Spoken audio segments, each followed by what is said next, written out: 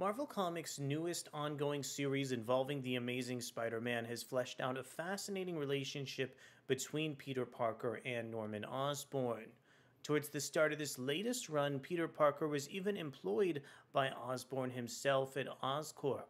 However, things took an incredibly dark turn in the landmark 50th issue of the series, where Norman Osborn's goblin sins caught up with him. Norman ended up infecting Peter Parker with the sins of the goblin as well and kicked off the Easy Being Green story arc. Now it's time to see if Peter Parker and Norman Osborn are able to put the sins of the goblin to bed and move on with their lives. My name is Arakko Braddock, and today, let's go ahead and preview The Amazing Spider Man issue 54.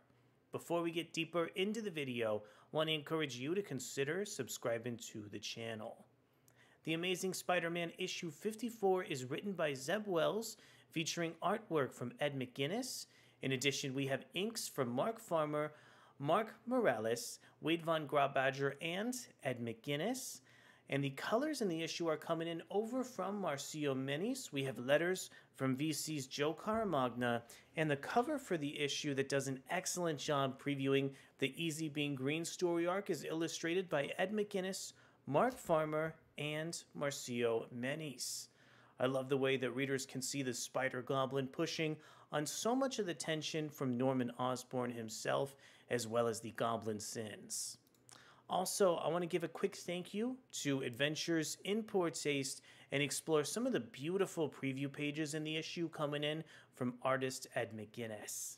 I really think that Ed McGuinness, as a creator, is so accommodating towards the amazing Spider Man, the way that he is able to draw an incredibly nimble Peter Parker is just so fascinating to witness on the page.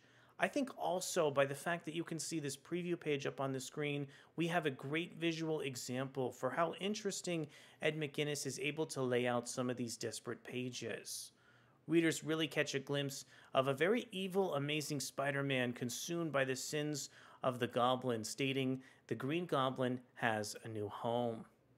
This preview page from Ed McGuinness is so striking here as Kamala Khan has such a strong facial expression, and readers get to see the character of Rek-Rap talking about the fatal blow that he encountered in a previous issue here. Zeb Wells is so great at writing some of the dialogue over for Rek-Rap, and watching the character not realize how many organs he has is just a great way to show how clueless Rek-Rap as a character can be throughout some of these pages. Also, I'm loving some of these strained facial expressions from both Kraven the Hunter and J. Jonah Jameson.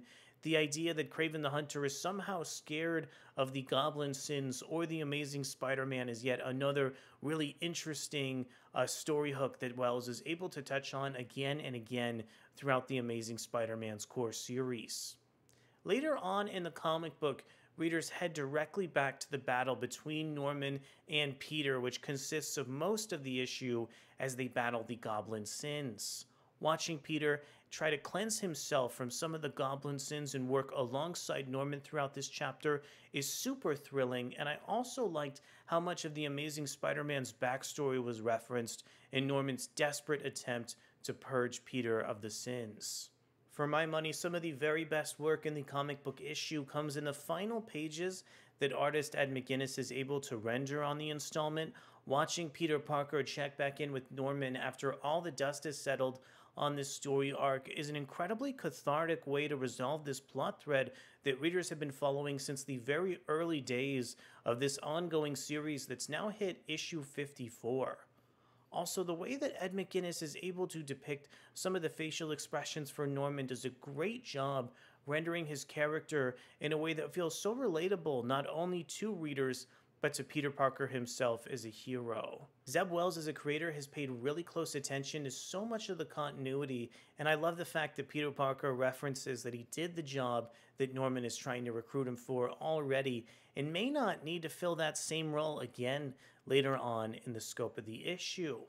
Also, I think one of the most dramatic pieces of Amazing Spider Man is the final page that actually doesn't resolve on a cliffhanger but just gives readers a clean ending for an incredibly hectic storyline. So at the end of the day here, I really think Marvel Comics has accomplished something really special with the Easy Being Green story.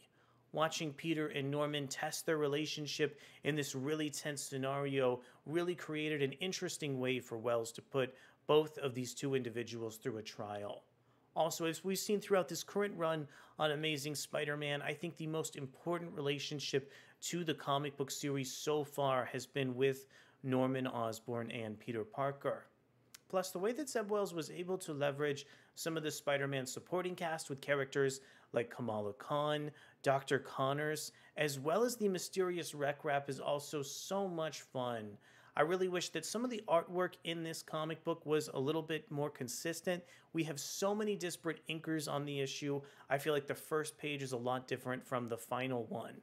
Overall, though, I think Ed McGuinness is such an expressive artist for The Amazing Spider Man, and I'm a huge fan of what he's delivered here. I want to know from you what do you think about some of the final moments that Zeb Wells left off on in the relationship between Peter and Norman? Did you like some of the massive fisticuffs between these two characters battling the goblin sins? Let me know down in the comments below. Thank you so much for catching our video review over on Amazing Spider-Man 54, and we'll be back to see wherever this series is headed next. Thanks so much, and I'll see you soon. Bye.